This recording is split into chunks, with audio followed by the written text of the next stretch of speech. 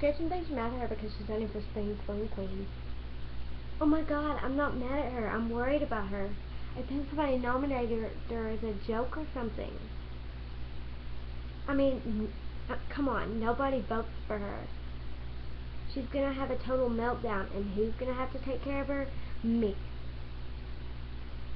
So you don't think anyone's gonna vote for her? Cady, she's not pretty. I mean, that sounds bad, but whatever. The Spring Fling Queen is always pretty. But the crazy thing is, it should be Karen. People forget about her because she's such a slut. Anyway, I gotta go. I'm going to bed. Well, she's not mad at you. Hold on. Are you okay? Shh. Hello? If someone says something bad about you, you don't want me to tell you, right? No. What if it was someone you thought was your friend? What are you... Hold on, other line. I'm not taking this anymore. It's good for you, Gretch. Hello? What's going on? Okay, hold on. I'm on the other line with Gretchen.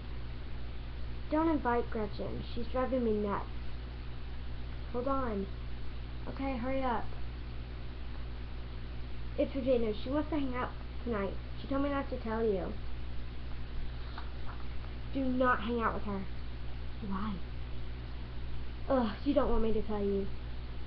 Ugh, you can tell me. Hold on. Oh my god, she's so annoying. Who is? Who's this? Gretchen? Right. Hold on. Oh my god, she's so annoying. I know, just get rid of her. Okay, what is it? Regina says everybody hates you because you're such a slut. She said that? You didn't hear it from me. Little heart scratch. Whatever, she has a she has a right to know. It can't go I'm sick. Boo, you whore.